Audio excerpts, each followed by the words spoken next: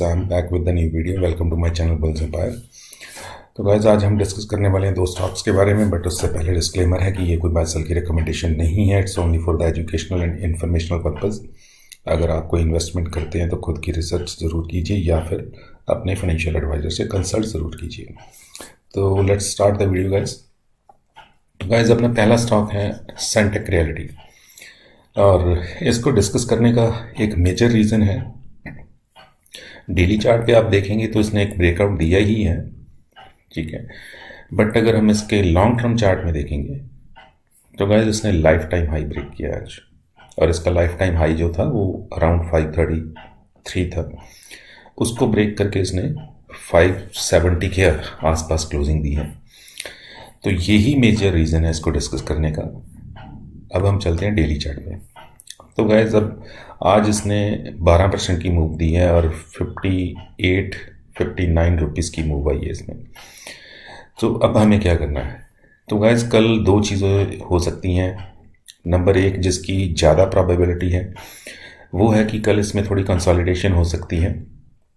और बी वाले short term trading वाले, वो अपना प्रॉफिट बुक कर सकते हैं। हो सकता है ये थोड़ा ऊपर खुले, वहाँ से इसमें एक सेलिंग प्रेशर आए और थोड़ा नीचे आ जाए। ठीक है? और दूसरी प्रॉबेबिलिटी जो कि सिर्फ़ ट्वेंटी परसेंट की है कि ये जहाँ पे भी खुलेगा, वहाँ से ऊपर ही जाएगा। तो एटी परसेंट प्रॉबेबिलिटी है, इसमें प्रॉफिट बुकिंग चलेगी कंसोलिडेशन चलेगी। पुरानी पोजीशन से लोग प्रॉफिट बुक करेंगे एग्जिट होंगे और नई पोजीशंस बनेंगी। तो गाइज़ ये फाइव थर्टी थ्री का लेवल है। कल को आपको इसको वॉच लिस्ट में रखना है। अगर तो इसका ओपन इक्वल टू हाई हुआ, कि जहाँ पे ये खुला वही इसका हाई हुआ तो आप समझ जाइएगा कि इसमें आज पूरा दिन प्रॉफिट बुकिंग चलेगी। तो जितना नीचे आपको मिले, आपने उतना नीचे उठाना है। 569 का सी एम पी ये दिखा रहा है।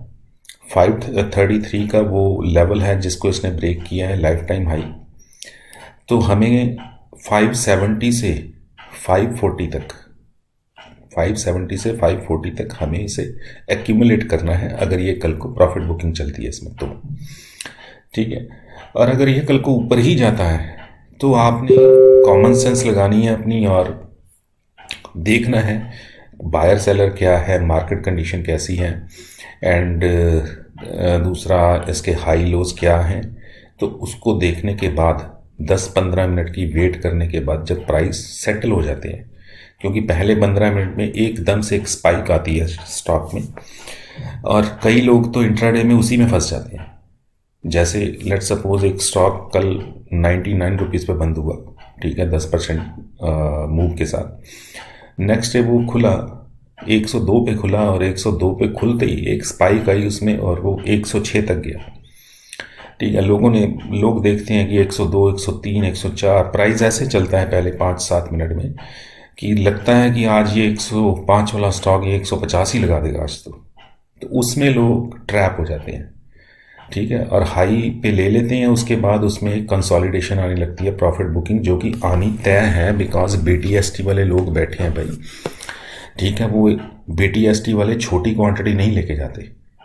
ठीक है? और मुझे नहीं पता आपको मार्केट का कितना पता है, पर जो बीटीएसटी करते हैं, वो कोई बीस, पचास, सौ शेयरों से नहीं करते। ठीक है, उनकी क्वांटिटी बड़ी होती है। और हम रिटेलर्स जो पोजिशनल ट्रेडर्स हैं या लॉन्ग टर्म इन्वेस्टर्स हैं, उनकी क्वांटिटी से कहीं बड़ी होती है क्योंकि उनको सिर्फ़ एक ही रात रखना होता है। तो आज भी कुछ ऐसे ब्रोकर हैं जो मार्जिन देते हैं। तीन दिन तक का मार्जिन होता है। ठीक है, आप तीन दिन तक उस पैसे को यूज़ कर सकते हैं जो ब्रोकर आपको मार्जिन अवेलेबल करवाता है। तो BTST में लोग बड़ी क्वांटिटी उठाते हैं कि हम एक ही रात में या नेक्स्ट डे सुबह हमें बस प्रॉफिट बुक करना, निकल जाना है, स्टॉक का प्राइस जो भी हो। तो जो जो वो स्पाइक आती है ना, उस स्पाइक का सभी बीटीएसटी वाले फ़ायदा लेते हैं। इसीलिए उस स्पाइक एक स्पाइक आने के बाद स्टॉक मोस्टली वो नीचे आने लगता है, क्योंकि उसमें सेलिंग बहुत ज़्यादा बढ़ती है फिर। तो इस चीज़ का आपको ध्यान रखना है, ठीक है? स्टॉप लॉस हमने इसका रखना है फाइव पाँच सौ दस का। तो पाँच सौ सत्तर अस्सी से पाँच सौ चालीस तक हम इसे एक्यूमुलेट करेंगे। ठीक है। और इसके जो टारगेट हम रखेंगे गाइस पहला टारगेट इसका होगा 650 का, जो कि आपको एक वीक में देखने को मिल सकता है। और जो इसका नेक्स्ट टारगेट होगा, वो मीडियम टर्म टारगेट होगा, वो एक महीना बी लगा सकता है, वो सेवन हंड्रेड के ऊपर का टारगेट होगा। अगर तो आप मीडियम टर्म इन्वेस्टर्स हैं मतलब महीना, दो महीने स्टॉक को रख सकते हैं तो आप इसे एक्यूमुलेट कीजिए एंड आपको ये 700 बहुत जल्दी दिखेगा। बट अगर आप शॉर्ट टर्म ट्रेडर्स हैं लाइक वीक और सो तो गैस फिर 580 से 540 तक एक्यूमुलेट कीजिए। 650 का टारगेट आपको विद इन वीक मिल सकता है। ठीक है? और 510 का स्टॉप लॉस लेना है। गाइस अपना दूसरा स्टॉक है। कंपनी का नाम है इंट्रासॉफ्ट और बेसिकली ये एक ई कॉमर्स कंपनी है शायद आपने गूगल पे कभी किसी को अगर इलेक्ट्रॉनिक ग्रीटिंग भेजा हो तो आप देखेंगे वो ग्रीटिंग होता है one two three greeting dot com ठीक है? मुझे नहीं पता आप में से कितने लोगों ने यूज़ किया है बट मैंने काफ़ी साल पहले जब मैं फ़ॉरन में था तो मैं काफ़ी यूज़ करता था अपने फ्रेंड्स एंड रिलेटिव्स को ग्रीटिंग भेजने के लिए तो वो ई ग्रीटिंग यूज़ किए जाते थे। तो वो डायरेक्ट आपकी ईमेल में लिंक आ जाता है, उससे आप ओपन करते हैं उस पर आप कुछ भी प्रिंट कर सकते हैं जब आप उसे कस्टमाइज़ करते हैं। तो ये वो वाली कंपनी है। और सिर्फ़ वो ही नहीं, वो एक इनकी सब्सिडरी है। बेसिकली ये ई कॉमर्स पे काफ़ी तरह के प्रोडक्ट सेल करती है। ये ब्रांड्स और कस्टमर के बीच का एक ब्रिज है। तो हम इसे ई कॉमर्स कंपनी कहेंगे। तो गाइज़ ये देखिए, इसने भी अपना एक स्विंग हाई ब्रेक किया है। और अब हम चलते हैं इसके लॉन्ग टर्म चार्ट पे, जिससे कि आपको स्टोरी क्लियर हो जाएगी।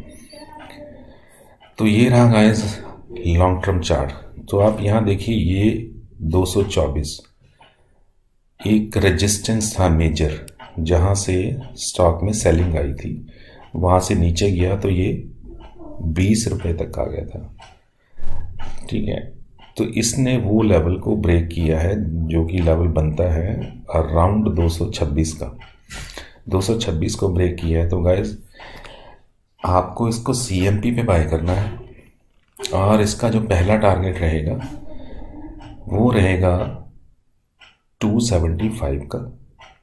और दूसरा टारगेट जो रहेगा, वो रहेगा 325 का। 275 एंड 325 दो टारगेट्स हैं। एक शॉर्ट टर्म टारगेट है, एक मीडियम टर्म टारगेट है। और इसका जो हमने स्टॉप लॉस लेना है गाइस तो let's get back to the daily chart तो इसका आपका जो स्टॉप लॉस रहेगा गाइस वो स्टॉप लॉस आपका ये वाला रहेगा 210 का।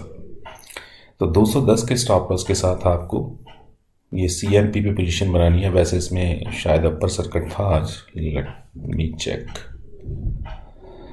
यहाँ लगता तो ऐसे ही है इसमें सर्किट लगा था। तो एनी anyway, आपको मे बी एक दो रुपये ऊपर मिल जाएगा क्योंकि अगर सर्किट भी लगता है तो ये एक दो रुपये ऊपर ही खुलता है। तो आपको इसको यही अराउंड 235 से 240 के बीच में पोजीशन बनानी है 210 का स्टॉप लॉस एंड 275 का शॉर्ट टर्म टारगेट 325 का मीडियम टर्म टारगेट रहेगा गाइस और बाकी हम डिस्कस करते हैं जो कल स्टॉक दिए थे उनकी परफॉर्मेंस कैसी रही गैस तो पहला तो था रोलेक्स रिंग तो गैस ये कल यहाँ पे क्लोज हुआ था ट्वेल्व एटी टू पे। और आज ये ओपन हुआ आ, कुछ थर्टीन फोर्टी फोर पे। उसके बाद ये नीचे आया तेरह सौ चौदह तक थर्टीन फोर्टीन तक। तो मे बी आपको यहाँ एंट्री मिल गई हो। और इसने हाई बनाया तेरह सौ पैंसठ का। तो अराउंड ये आज भी पाँच परसेंट की मूव इसने दी है।